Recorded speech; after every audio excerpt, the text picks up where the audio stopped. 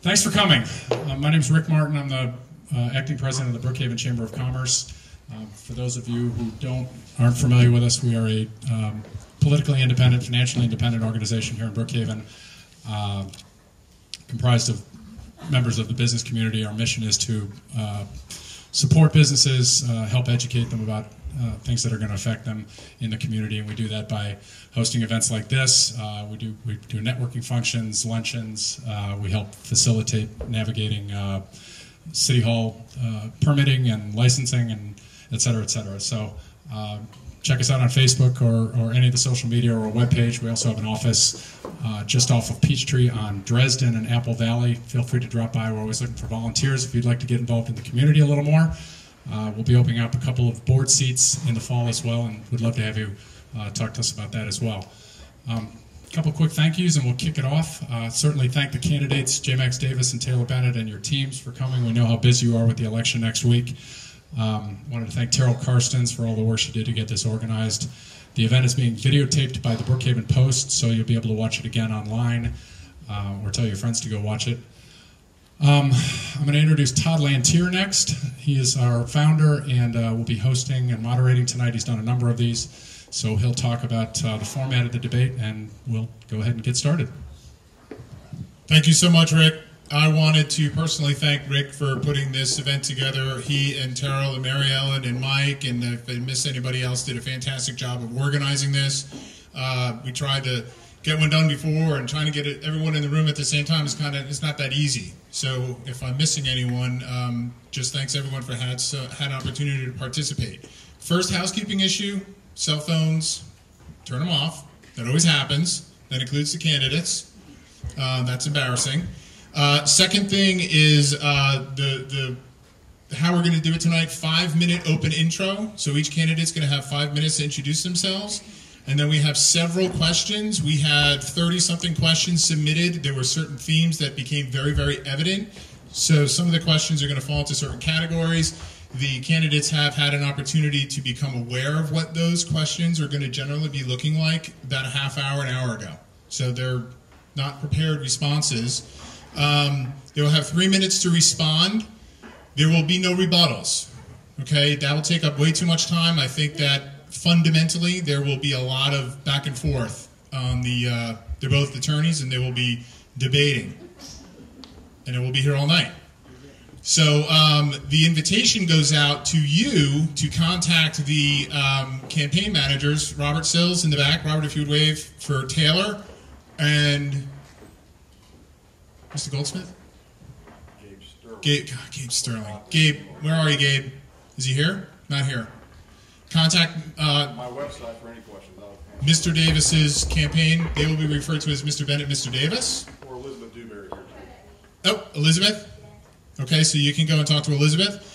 Um, very, very quickly, uh, I know we have two elected officials in the back from Chamblee. We have Tom Hogan, City Councilman, Brian Mock from Chamblee, City Councilman. Is there anybody else that I have missed, elected officials? Thank you for your service. Quick survey. Show of hands. Who lives in Sandy Springs? Okay. Who lives in Brookhaven? Okay, it's a lot of Brookhaven people. Who lives in Doraville? Who lives in unincorporated DeKalb? Who lives outside the uh, the voting district? Oh, Chamblee. Sorry, I live outside the voting district. That's why I'm able to moderate. Um, so, with that being said, I am going to pass the mic. We would like to do a hard stop at eight. If we have some extra time, we might allow for some questions, but I, I believe we're going to go right up until 8. All right? We had a coin toss, and to see who could go first. Mr. Davis won the coin toss, so he is going to take his five minutes, and Rick is going to keep time and keep us on time. So, Mr. Davis, if you would. Yes, thank you to the chamber. I'm going to stand up just for the opening statement, but I'm going to sit down. I just told Taylor that's what we could do it, so not going to be a bunch of sitting and standing. I just want to thank the chamber for hosting this debate. Todd, of course, Mr. Martin, Terrell, everybody with the chamber. Also want my family to please stand up. I want to thank them because this has been a long and arduous campaign, and this is my wife. That's Liza, my wife Carrie, Lydia, and Max, and my mother-in-law and, and stepfather-in-law, Sherry and Dave Felton. Uh, thank you all for coming, all you citizens and residents of the area. Uh, did anybody, anybody from Chamblee here? I know Tom Hogan's here. Okay, because that was, uh, we got a few. Good. Um, hey, um, listen, I am very excited about the opportunity that's being presented before me this coming Tuesday. And you have an opportunity as well to make your voice heard. The reason I'm running for the state house seat is because I want to continue the positive momentum that I helped start as mayor of Brookhaven. In Brookhaven, we were able to pave more roads in two years than the county was able to do in about a decade. Built more sidewalks in two and a half years than the county was able to do in about a decade. We also took on a stormwater system that was decrepit and decay with a zero balance. Now it has a million dollars to handle maintenance and infrastructure repair. We cut permit wait times down significantly. We improved our parks. When we inherited uh, the parks from DeKalb County, the budget that DeKalb County was spending on all of our parks, all, tw- all 12 of them, or 13, depending on your count, uh, was $400,000. Uh, as of this year, we'll have spent $4 million in just two years on infrastructure improvements in our parks. If you remember what it looked like three years ago when you would go to a DeKalb County park, uh, what, what we found was the, the pump, the pool pump at Murphy Candler Pool, was on a jack. There were cracks in the deck. The parks weren't being maintained with their grass. There were no really benches or swings to speak of. Hard pan dirt everywhere. Playground equipment, uh, for the most part, in disrepair. And there was just no maintenance and upkeep. We we've been able to transform our parks. We got a lot more work to do in just two and a half years, or really two years. Uh, but the most significant thing that was the reason for my desire to form a city was the lack of security and protection for the families in, in, in Brookhaven and our community. It was extremely important that we didn't have to deal with calling 911 and getting an answering machine or getting put on hold. Waiting for a police officer, officer to arrive when you're home or your, your car was broken in, it'd be an hour or so. Now, I think everybody would agree, even my opponent, that the security situation in Brookhaven is dramatically different. Now we have quadrupled police coverage from what we had before. We did all those things and more, and now have the lowest millage rate in DeKalb County. They said you can't do it without raising taxes. They said you couldn't do it without declining services. The opposite is true. We now have a community that is being served by its local government, and I'm very proud of the accomplishments that I made as mayor of Brookhaven. And I'm proud of you as citizens for being involved in supporting that as well. So when you hear tonight some of the issues that come up, keep in mind the record that I put, posted as mayor of Brookhaven and the things that you're now enjoying that you just you weren't enjoying two and a half years ago.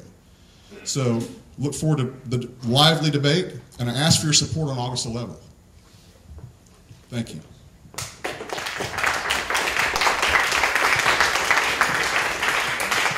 Appreciate it. I'd just like to thank everybody again uh, on behalf of everyone up here for putting this on. This is something we were trying to get done in the first half of this election, and we just couldn't get it done. But uh, this is really kind of what the fun part about these campaigns are: is getting everybody together, hearing the issues, and having some good dialogue. Um, some of you I've met, a lot of you I've, I've met. Uh, we've been walking the streets since day one. But uh, for those of you who have not had an opportunity, uh, I have not had the opportunity to meet yet, just a little bit about who I am and, and how I'm even standing on this stage. But uh, I grew up really in central Illinois. Uh, we moved to St. Louis for high school, uh, and then I ended up coming down here uh, to attend Georgia Tech. I was recruited to play quarterback for the Yellow Jackets to play under Chan Gailey. Um, and, and in the first five minutes of being in Atlanta, I fell in love with the city and realized that this is really the place I wanted to call home. Uh, and I've been here ever since. Uh, tried to play professional football a little bit, realized that career was going nowhere and fast, uh, and so hung up my cleats and uh, actually uh, enrolled in John Marshall Law School uh, right here in Midtown. Uh, I went to part-time night school and worked full-time, you know, throughout the day. And after law school, I started practicing employment law, and that's really what I do now. Is I um, a lot of my practice is focused on representing employees and, and labor disputes uh, but also representing small businesses uh, and incubating businesses to get you know, them on the right track and guiding them on, on how to set up their companies and, and where to go with things. Um, and, and, that's been a really rewarding career so far. I found a lot of, um, you know, uh, I guess a lot of happiness in what I'm able to do for an individual that's been discriminated against. Uh, but at the same time, I'm kind of also on the other side of this uh, in, in, helping businesses and helping our economy grow uh, and figuring out how we can make a, a more meaningful impact. Uh, but this past spring, uh, you know, I was you know, kind of sitting here and kind of looking at what the legislature was doing, uh, you know, as a whole, and seeing that we were, in my opinion, kind of headed towards a of a, a dark road on what we were trying to get done legislatively, uh, and it really didn't sit right with me. And uh, and so I saw this opportunity. Uh, I thought it would be a good opportunity to throw my hat in the ring. Uh, I really wanted to make a meaningful impact uh, on some things that I believe are, are headed in the wrong direction. Uh, and so I put my name, you know, down on the ballot, and and we are here today. And, and I, I, can't tell you how exciting this is, is to be in this position. Uh, but also how uh, incredible it's been to meet everybody, uh, you know, in the Sandy Springs, Chamblee, and the Brookhaven communities. I think that's one of the most uh, rewarding parts about this is being able to come to your homes and sit in there and, and drink some coffee uh, and, and, talk about the issues that we face every day. Um, and that's really been the most rewarding part. So I really thank everybody for, for, for allowing us to have that opportunity. And I hope we can get something out of this tonight, and then we can all go to the polls on Tuesday. So thank you. Thank you very much. Am I, am I correct? You both went to the same law school? Yes. So when they talk about how exciting politics is, this, this is excitement. No? Both went to, no? Okay. All right. So what do I have a minute for uh, to ask it, and they've got three minutes to answer it, and they're each going to do it, and Mr. Davis goes first, correct? No, I went first on the speech. All right, so we're going to let Mr. Bennett answer first. So, uh, first topic, generally, uh, question. Uh, obviously, education is a very hot topic right now with the reintroduction of the H.R. 4 bill to create more local school districts. Charter schools and taxpayer savings accounts are also being evaluated in HD 80. What is your position on decentralizing and improving our schools, and how would you fund these improvements? Thank you. Um, I believe that the education of our children is probably the single most important issue that we face as a society. Um, you've probably heard a lot in this election so far that I'm nothing but for the status quo, uh, and that's just simply not true. I wouldn't be in this race if that were the case. Uh, but what I can tell you, what has been status quo in Georgia for the past 12 years, uh, is the systematic underfunding of education by over $8 billion. Uh, and that's essentially what our, our, lawmakers have done over the past 12 years. Uh, another topic that has come up in this, uh, in this election so far is revisiting you know, the QBE, which is the formula that we use to fund education. that formula has been intact for, for quite a while now, but our legislature has not abided by it one time. Uh, we systematically defund education year by year, uh, and that's just unacceptable. Um, and, and, and, here's why. Uh, for the obvious reasons that we, we need to have the funding in place to provide the resources and tools to our teachers and our students uh, to achieve the levels that we actually set for them. I, and I don't think that there's a parent in this room that has children in school that would be comfortable with underfunding their children's education. I know I wouldn't be. Uh, but we, we have to invest in it if we're going to ask our children to also be invested in it. Uh, and, and, looking back at the QBE, I'm all for revisiting the QBE formula and making sure that uh, we're spending money effectively and efficiently in the system.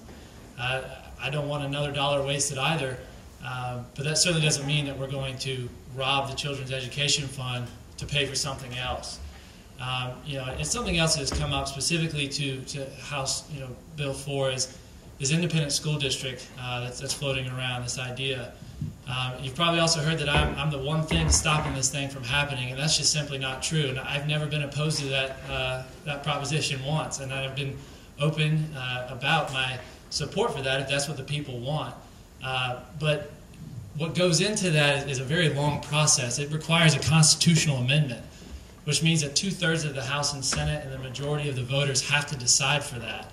That's a long road to take. And it's already been put down twice in the legislature. And there's a reason for that, is because there are Republicans in the legislature that don't want that bill. This would kill county and rural areas of Georgia that need to actually have consolidated schools to be able to maintain the funding levels that give the resources and tools of those schools to succeed. And that's something that really is hindering that bill. It's not that the Democrats, you know, are fighting against it. It's, that it's actually, realistically, it's not the best thing for Georgia as a whole. And it, it may be something that's good for here, but I think that people need to understand all the facts that go into this issue before we start parading around this idea that sounds really nice because if we create an independent school district here in Brookhaven or any of the municipalities in the, in the metro city area, the responsibility goes on the taxpayers to fund that initiative. Your property taxes will be affected by that. You cannot cap property taxes and then add a school system in there and expect your property taxes to go down. Those are mutually exclusive in and of themselves. So, as your representative, I want to make clear that I'm not against any initiative to, to reform education at, at every level. Uh, and I will work every day to ensure that our education, the education of our children, is a first and foremost priority uh, for our state for our state policymakers. And as your representative, I promise you that I will make that my point. Thank you. Excellent. Rick, can you hold that sign up? We got a one minute mark and then an X, and the X means you're done. So we need to be cognizant of that, if you would, please. All Thank you so much. Thank you, Todd. Thank you, Taylor. Uh, with all due respect, Taylor, um, your thoughts on this issue and the machinations of how we could get a school, city school district are really an older way of thinking. Um, the, the bill that's currently pending before the legislature, was, which was introduced in its current form for the first time last year, takes that rural element you're talking about out of the, the, the question, out of the equation. The bill now says it only applies to school systems that were cities that were applied, that were created after the year 2004 and neighboring cities. So that would apply to about 10 cities in the metro area, not the rural districts. That was why the bill was changed to make sure that we didn't have a problem with the rural legislators having opposition to it, about them being nervous about a city in their rural county taking all the funds away and taking all the best students. So that issue's been dealt with us in this bill. And I know it, it is a, a hard road to, to get this bill done. Uh, and the, the point about my vote in the legislature, it would be 119, and there are Republicans who are okay with the bill now because it's, it's been changed. It is, it does depend on the, the swing in the legislature. Uh, the, the, when you talk about funding for our schools, you're talking about state funding and how the QBE, it, it does need reform, it does need, it need to be machinated, needs to be replaced in some areas, but you have school systems that are very successful because they have successful county school uh, districts. Gwinnett County and Cobb County are prime exam- examples. They're dealing with the QBE formula, but because the control of the schools is, doesn't really come from the state, it comes from your local school system. And right now, we're dealing with the DeKalb County school system. It doesn't matter in, in some terms how much money we're getting from the state. It matters how your tax dollars and my tax dollars are being spent by DeKalb County bureaucrats. That's the problem. We have a school system in DeKalb County laden with bureaucrats not doing anything to educate a child in a classroom. My wife is a teacher at Kittredge Magnet School. She tells me every day how bad decisions from government officials and Democrats affect her job in the classroom. And that's the problem. The state, yeah, we can work on QBE, but we need to work on DeKalb County. We are saddled with a system that, I don't know if you lived here then, but we were threatened with losing our accreditation just a couple years ago. The governor had to fire our school board. The state did something for us. They fired our school board. It's all about how our DeKalb bureaucracy is wasting funds and not educating children. That's what it's about. That's why my passion for a new city school system that separates us from that, that central office down there is so important to me. It's for my children, your children, and your grandchildren. That's why I'm in this race because we need better educational options for our children. Everybody in Brookhaven from top to bottom, not just the people who have kids that can go to Montgomery or Ashford Park, but for the kids that go to Woodward and Montclair. That's the issue, and DeKalb County is responsible for that disparity, not the state of Georgia. And I want to use my position as legislator to change that, not do the same old things and worry about money, money, money. It's not about money in DeKalb County. DeKalb County spends almost spends more than just about any other district in the state with some of the worst results. DeKalb County and State of Atlanta. Those are the two systems that spend the most per student. So let's stop thinking about money and let's start thinking about how we change the dynamic that's been going on in DeKalb County that's, that is hurting our children and robbing our children of a quality education. Thank you for your response. No, I think we, both candidates went over on that first round, so we're even. Okay, the X is done. All right. We're going to turn the mic off if uh, we have to. I only see that nicely. Okay, uh, the next question is about money, by the way. Redevelopment powers and, and TADs, tax anticipation uh, districts or tax allocation districts. Redevelopment powers are allowed in Sandy Springs and Chamblee. They were defeated at the polls last year in Brookhaven by a significant margin. If elected, will you introduce redevelopment powers and what do you feel is the government's role in funding private development? No, I will not be carrying any legislation to introduce redevelopment powers for the city of Brookhaven or any other city. Other, most cities have it, but no, I will not be doing that. I think we've got uh, a lot of things on our plate now. I wasn't for it when it went on the ballot last time. I, it wasn't my decision.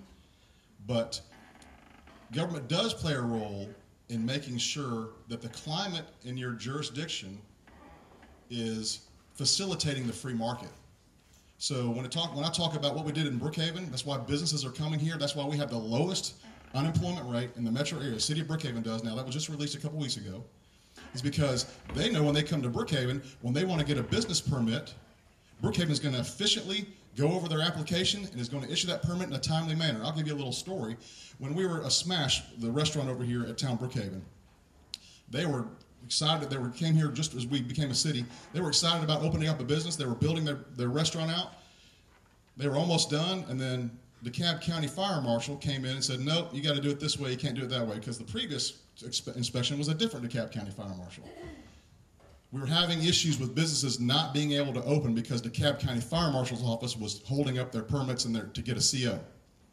And I got a call from the owner of, of Smash, Tom Catherall. And he said, Mr. Mayor, we want to open up in your city. Your permitting process was a breeze. We got everything we needed to get done, but we're being held up because the DeKalb County Fire Marshal either misses his appointments or we're getting a different read every time, every time one of them shows up. So what did we do in the city of Brookhaven? We got our own fire marshal. Problem eliminated. So that's how government can facilitate business. That's the job of, of, responsible government. And the leadership we showed in Brookhaven with paving our roads and sidewalks, yeah, those are important to businesses too. The police presence is hugely important to our businesses. If you don't have a safe city and a safe safe streets, nobody's going to want to come here. So what's good for businesses is also good for homeowners. And homeowners. That's why the home values are rising steadily in Brookhaven. That's why businesses are continuing to come here. That's why our unemployment rate is low because our, our millage rate for homeowners is very low. Also, our business uh, property tax rate is the lowest in DeKalb County. Businesses know that. So when you think about what business can do to help, uh, what, what government can do to help businesses, it's those things. It's making sure that they have a competent, efficient government keeping their back. And that's what it's about. So the redevelopment power laws. Uh, this legislation is a tool that municipalities can use uh, to help, you know, centralize the autonomy to make developmental decisions at the local level. Uh, as you mentioned, Todd, the people of Brookhaven voted. I think 60% of the people of Brookhaven voted against that. Uh, you know, when it came up for a referendum vote. Um, now, while tools like this uh, can be beneficial for one area, it doesn't necessarily mean it's good for another area, or that the people want it for another area. Uh, but recently, uh, you know, actually the city of Roswell went through this as well. Uh, but the two years leading up to the vote on the redevelopment powers referendum in Roswell, the city took initiative to educate the voters on what exactly they were getting into before it went to a vote. Um, and what the city here in Brookhaven proposed uh, you know, was very not open and transparent. Uh, and so, actually, I have to give credit to a former candidate in this uh, race, Catherine Bernard, for actually leading the charge on educating the people of Brookhaven exactly what the redevelopment powers law meant for the people of Brookhaven. Uh, and in doing so, again, 60% of the people rejected that. Uh, and that to me is a very, you know, that's a very clear sign of what our democratic process, uh, you know, allows us to uh, to accomplish. but again, this goes back to uh, the transparency and the openness, uh, you know, of our government uh, to inform the voters on exactly what they're getting into before we go, uh, you know, blindly into the night on something that could otherwise affect us uh, adversely years down the road. And that's exactly what happened here with the redevelopment power laws. Sorry, we're, short of mic. Thank you so much, gentlemen. Um, in, in, similar lines, as far as uh, economic development and um, municipalization is concerned, given the rapid growth and the uh, propensity for higher density development in, uh, in HD80, how do you address concerns regarding the effect on the community's green space, pollution, and traffic? Uh, I believe that transportation is one of the most vital necessities for any society, uh, you have to have workable transportation solutions uh, for communities to even operate. Um, you know, over the past couple decades in Georgia, we have not really taken uh, really a powerful approach at addressing our transportation concerns. Uh, one of the most exciting recent things, a lot of you probably heard, is the, the MARTA uh, expansion proposal that's out. It's $8 billion expansion. Um, you know, we've been waiting for something like that for a long time. And what that's going to be able to do is connect areas of our, of our metro city area together that otherwise uh, didn't have uh, connection to them. You know, if you kind of look at, you know, the MARTA track, it's a big circle, and uh, we're at 285, and there's like a, a MARTA line in the middle. We're going to start putting spokes on that wheel, and that's exactly what we need. That's the kind of thinking that we need uh, at the state level. Uh, one of the things that we have really under, underperformed on is funding transportation. Uh, this year we passed H Bill 170, uh, and, and, basically what that did though was fund transportation up to the maintenance levels. So we didn't actually fund anything beyond that. Uh, and so that just really took care of what was already the existing infrastructure. But as everybody in this room knows, uh, you know, especially in our district alone, uh, transportation is a, is a very serious issue.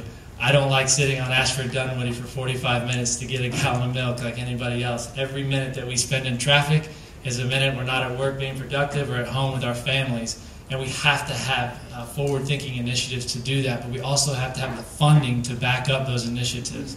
And uh, as your state legislator, I, I, will champion legislation and champion funding initiatives to bring that kind of uh, those, those kinds of uh, solutions to our district. There's tons of money out there for us at the federal level and the regional level that we can uh, that we can bring back into our district uh, to facilitate the, the, needs that we have in the transportation area. Um, and so, as your legislator, I promise that I will bring those kinds of initiatives to us. Well, um, that's uh, Marta, is interesting, but I would like to talk about what I did as actually with my record as mayor to help with transportation and traffic in our community. Uh, the first thing I did, a very big champion of this, was expanding sidewalks and building sidewalks and repairing sidewalks. The first thing we did uh, at, at, when our public works department got online was look at schools, the sidewalks around and in front of schools. So we repaired those sidewalks first so that children can actually walk to school safely without worrying about having to step in a crack or fall down and a, mom could get a stroller across our sidewalks. We, we addressed all the sidewalks around the schools, number one.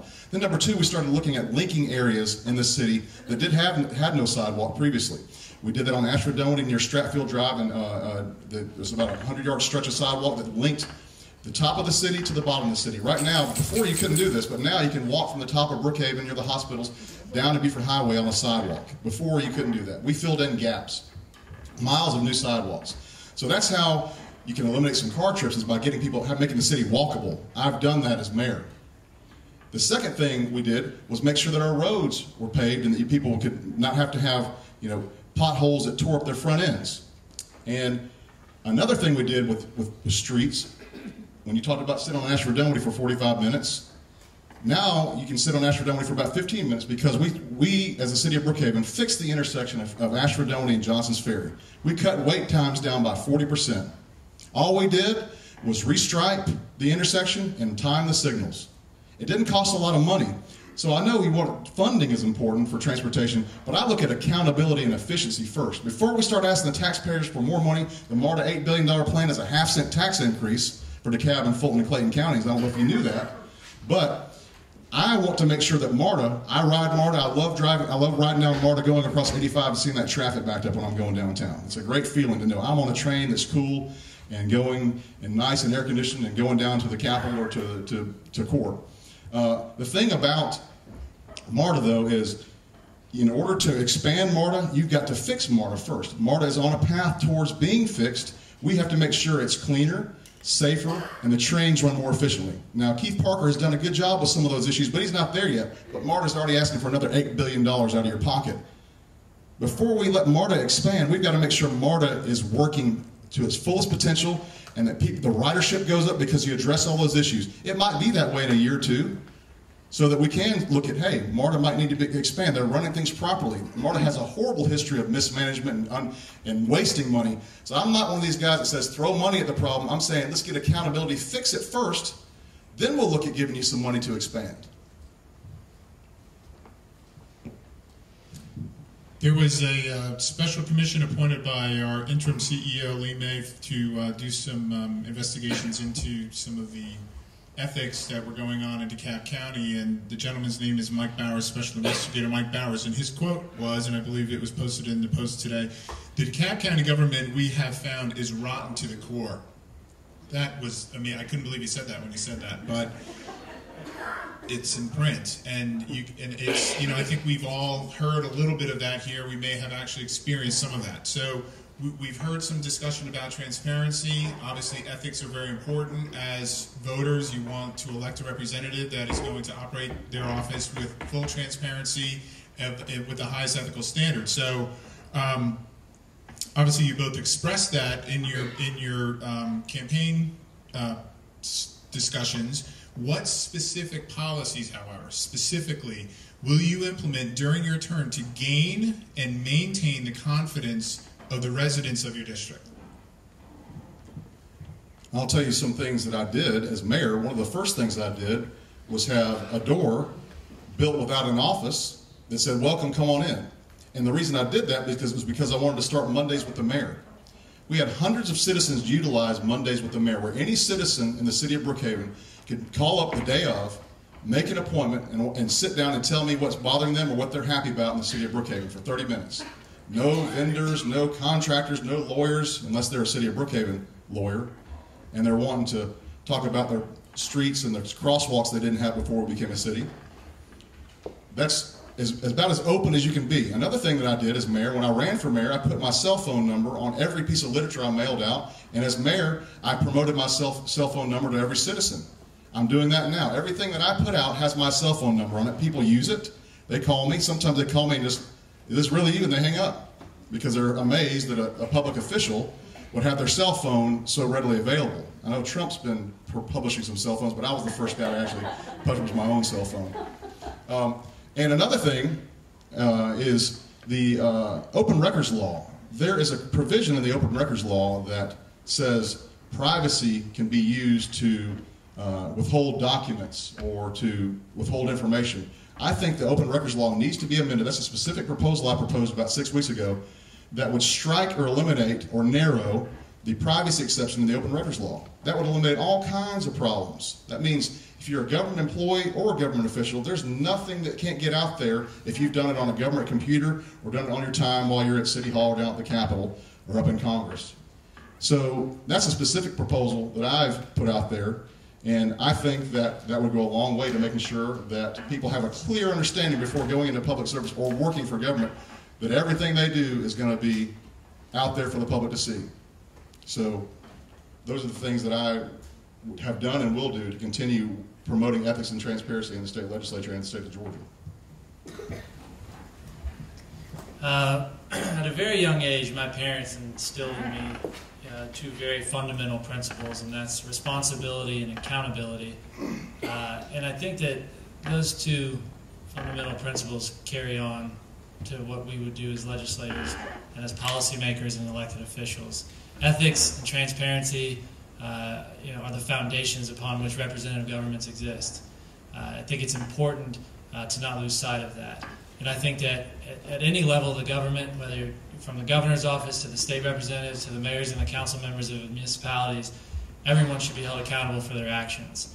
Um, as a lot of you know, I've recently come under uh, a little bit of fire for a, an ethical complaint that was filed against me for, uh, you know, the, the, I forgot to file my personal disclosures uh, with the Finance Commission.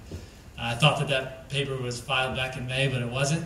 Uh, but within about 30 minutes of that hitting the wires, um, we immediately filed it, and I, and I took responsibility for my actions. And I think that that's exactly what leadership is about: is being able to admit your mistakes, uh, and take accountability for the things that you do while you're in office and making sure that the people understand that you weren't uh, that you, you had the best interests of the people at heart the entire time that you weren't trying to hide anything uh, and doing what you were called on doing uh, so to me that's really what leadership is about uh, and as your state legislator I will absolutely make sure that ethics uh, transparency and accountability uh, are, are, at the fore, forefront of, of, of how I lead us thank you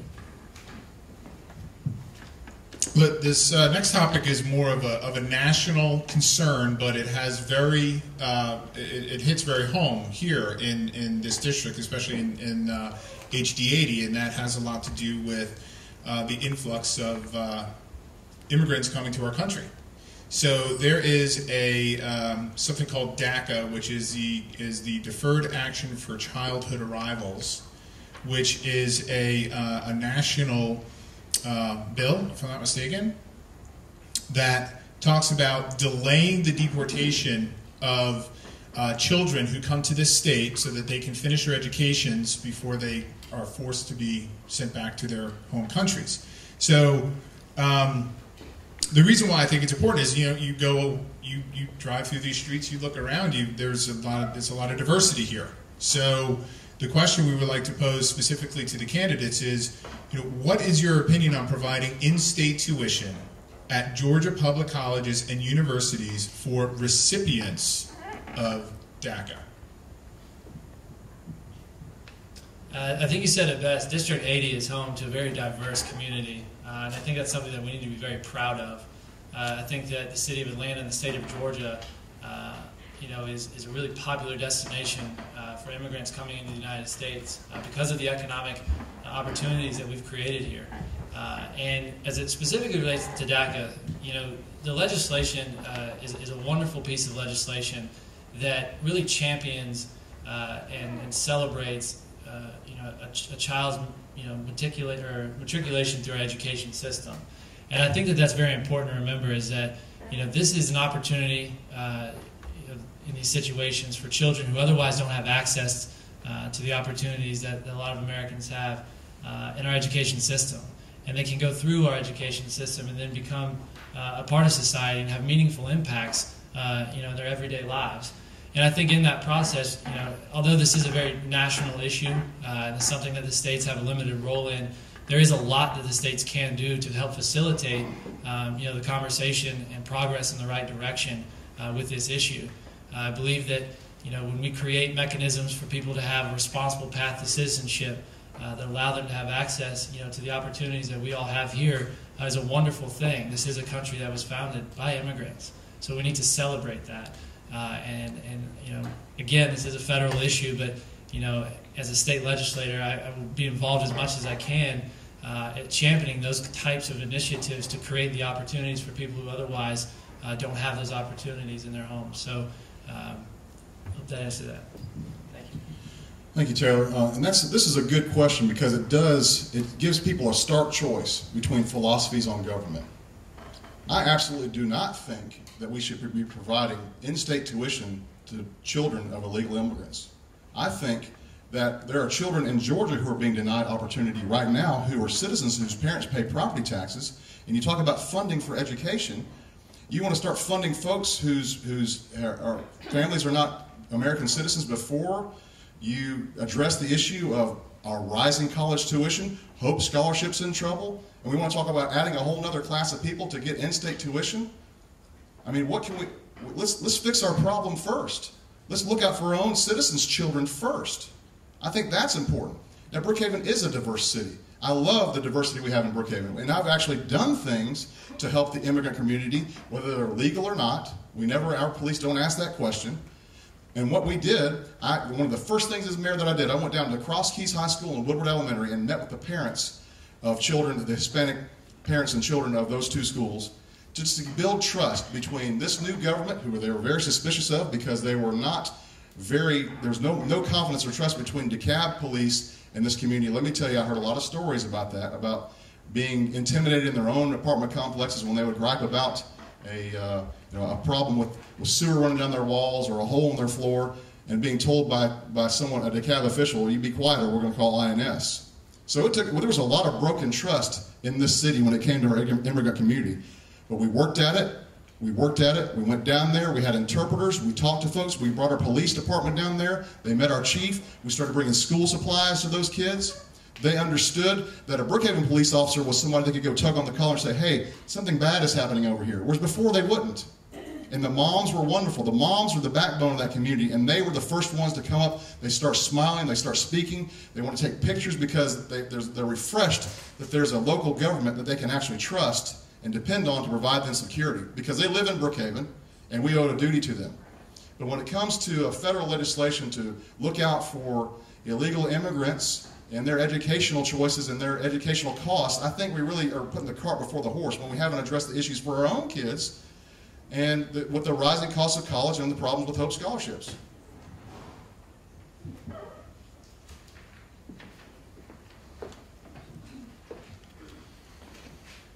Thank you, gentlemen. So, 33% of the voters in the uh, district did not vote for either one of you in the last in the, in the primary. So that is a fairly sizable population. How do you anticipate uh, encouraging them to vote for them or to vote for you? Um, if this is your opportunity, what, do you- what would you like to say to those 33% that to convince them to vote for you? Me, is it my turn? Yeah. Okay. All right. All right.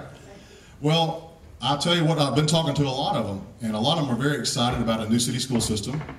Independents, Democrats, Republicans, all are excited about that, most for the most part. But another thing that hasn't been mentioned or our question hasn't been asked on are property taxes.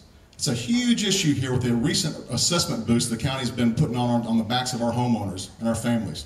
People on fixed incomes, seniors, calling me in tears. I'm not trying to be uh, emotional about this. About have, I'm going to have to sell my home because the county raised my taxes five thousand dollars this year. They raise your taxes without a vote. It's a backdoor tax increase. That's why my bill to cap property taxes. I know you're, you're, you don't think that we can do that and still have education, but the problem again is not funding. DeKalb County's got too much money. It's time to turn off the spigot. I mean, it's rotten to the core. You want to keep fe- fe- feeding money to a system that's rotten to the core? I know the chief of staff, the former chief of staff of Vernon Jones and Burrell Ellis support you and contributed to your campaign. If we want to keep that, that kind of uh, methodology going, you should vote for my opponent. But it's, it's really important that we understand that property taxes are out of control in DeKalb County. My plan would cap property taxes at 3%, your actual bill, not your assessment. Your assessment would kick in with a new when you sell your home to, the, to a new homeowner. 3% cap on your property taxes or the consumer price index, whichever is less. That way, when you go to your mailbox, instead of waiting with bated breath or trembling, what's my assessment going to be every spring? You know, hey, they can't go up more than 3%. Not 40, 50, 100%. I talked to a lady who's went from $4,000 to $8,000 in one year. Is that fair or right? Should we be giving DeKalb County the benefit of the doubt when it comes to how they're assessing our homes and raising our taxes? No, we shouldn't. We've got a government by indictment in DeKalb County. And the DeKalb County political machine supports my opponent. If you want more of that, Taylor's a nice guy and a good guy, but the people who are wanting him to win don't have your best interests at heart. It's the same old, same old. The status quo. I want to make sure we do something different, whether it's education or property taxes. DeKalb County's got to change. The school system's got to change.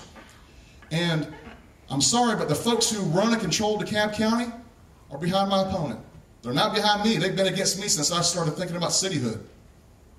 They don't want it to happen. They don't want me in there under any stretch of the imagination. Mark my words. Just they do not want J. Max Davis as House State Legislator from District 80.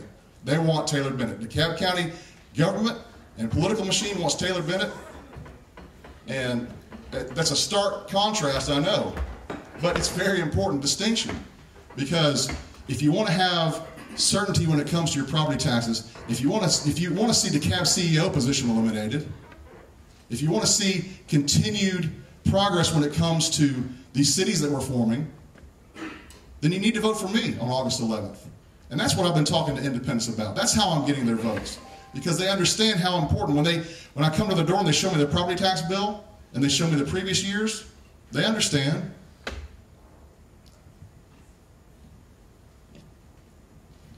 Well, I think you did say it best. The people of DeKalb County do want me in office because I am the best option for this job.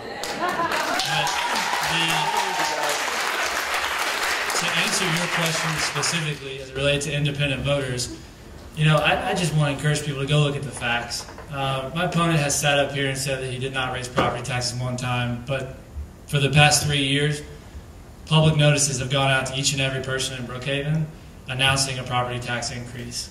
And the reason that happened is because there was not a full rollback on the millage rate. It was a backdoor tax, as you put it. So I want to get back to I've had the opportunity to connect with a lot of people in this campaign Democrats, Republicans, a lot of independents, libertarians. There's a lot of people. We have a diverse political spectrum here in our, in our district. And that's been the most rewarding thing is being able to connect with everybody on whatever issue it is that's important to them. And that's something that I encourage everybody to do. Find an issue and see where we can connect. And then you'll be able to make an informed decision based on the facts and not have to listen to vacant rhetoric about this fallacies about I want status quo and that these corrupt people want me in office because it's completely false. I'm here to do a good job for you. I'm here to give you the best type of leadership you can have. And I'm here to take District 80 into the future. Thank you.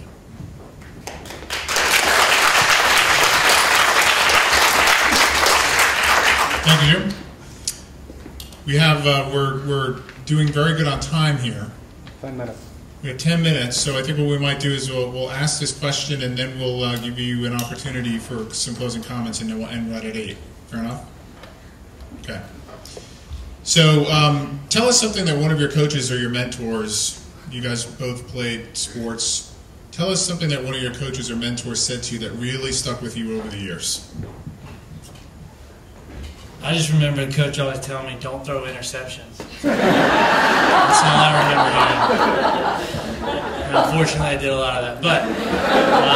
But um, you know, a lot of coaches said a great, lot of great things uh, over the years. Uh, but the one coach, you know, that I really have to tip my hat to is my mother. She's been my life coach since I was born. Uh, my sister and I were raised, you know, by a single mother, and so, you know, I watched what she was able to do uh, professionally and then what she was able to do as a mother for my sister and I. And the one thing that she always told me, Taylor, she said, luck is when preparation meets opportunity. And what I, you know, when you're eight years old, you have no idea what that means. Um, but when you grow up, you start to realize that uh, you have to actually go out and do the things uh, you know, to, to bring the luck to you. Uh, and when you prepare for something and you see an opportunity, you have to go seize it. Uh, and that's exactly what we've done in this situation. None of y'all in this room had heard of me until May, until we announced for this election.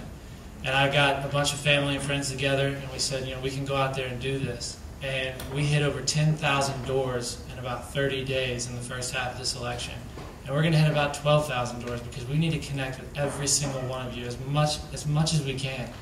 And that's what this is all about. It's about, uh, you know, seizing an opportunity that's right in front of you putting a team together and going and getting the job done. Because that's what it's about. You know, I've heard a lot of I, I, I tonight. But this is about us. This is about we. We come together to go do the things that we want to do as a community, as we want to do as a state. And that to me is really what all this is about. It's about us being together and going and solving our problems. Thank you, Taylor. I would uh, say um, probably on the field advice was don't fumble, Davis. I heard heard that one from Coach Dooley at, at UGA. Um, you know, I, I've had a lot of coaches. I went to Chamblee High School, had coaches there telling me I got to have a heart from chest bone to chest bone in order to get things done. You got to leave it all on the field. Don't give 110%. All those things that Taylor and I both know about that you hear screamed on the football field. And I guess you know, uh, much similar to his mother, my father was actually a, a football coach. He was a, he played professional football for the Kansas City Chiefs, and he served this state and this community and, and House uh, and the state House of Representatives from 1980 until he passed away in 2002. And what he told me, which was the most important thing to me, was don't ever tolerate a liar. And the, the worst thing you could do in my house growing up was tell a lie. You could break the crystal chandelier. You could leave your tra- you leave your plates on the table, but don't ever tell a lie. Your name is the only thing that you have that nobody can take away from you unless you give it to them. So, to me, honesty and integrity is the foundation of everything that I do. You have to have a moral compass in your head when you decide when somebody offers you something that's you know is not right. You have to have that innate ability that's been ingrained in you by your parents and family that you'll do what's right when no one's looking. Uh, so, my father was a fine example. He stood up when he was when in the state house. There were 12 Republicans and 158 Democrats, and my father uh, showed his independence by voting no just about on everything in his first few years in office.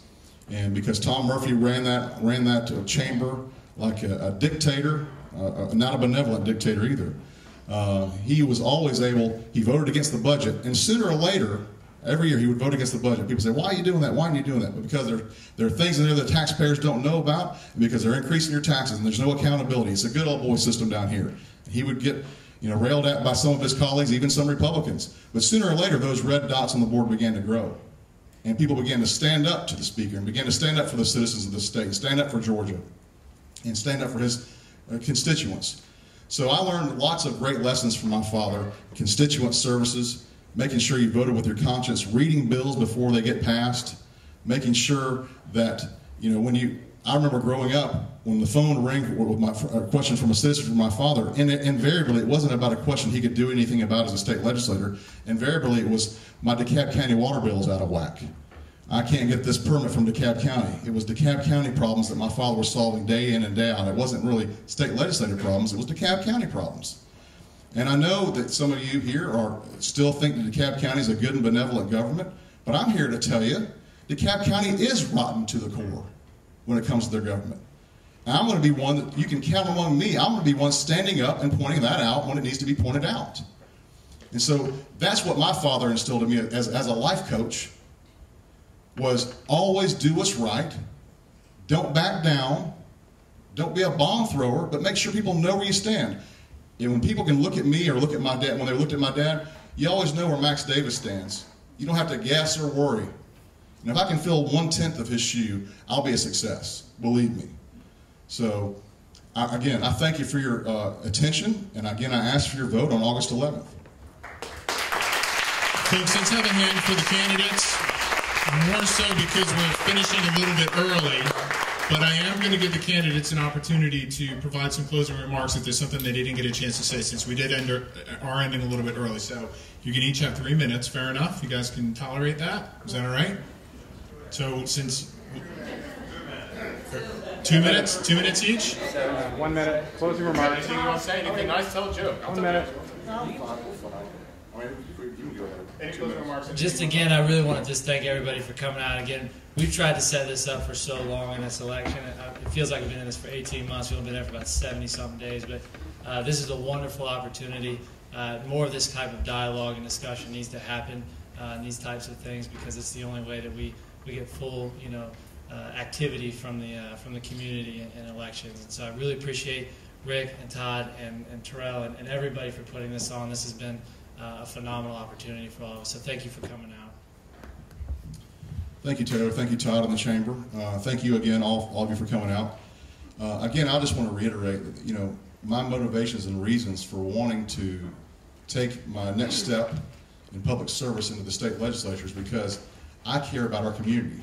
I was born here. My family's raised here. My wife grew up on East Nancy Creek. I grew up on West Nancy Creek. She went to Marist. I went to Chamblee. We're invested in this community. We're not going anywhere. And I, I just want people to know my motivation is to leave something better here than when I got here. And that's what city of Brookhaven is about. When I see those paved roads and I see those sidewalks, when I see children swimming in the nice, safe, clean pools, when I see the playgrounds, when I see that Brookhaven police car, I mean, how many of you enjoy seeing a Brookhaven police car? I hear many times. Raise your hand if you're you're excited about the Brookhaven police. If you're not excited about the Brookhaven police, keep your hands down.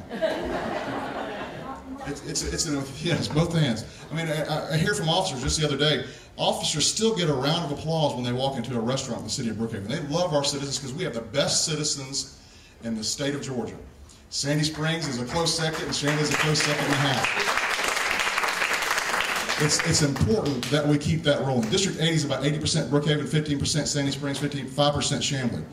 And my motivation is to, is to build on this, on the successes we had with this city, and to let my children and your children, and your grandchildren, and your families live in a safe, secure city, and environment and district that uh, you can be proud of. So I'm proud of you, J. Max Davis, August 11th. Thank you very much. Thank you, candidates. One of these men will be representing you in five days, so I encourage you to get out and vote. We will have a new uh, HD80 representative on Tuesday.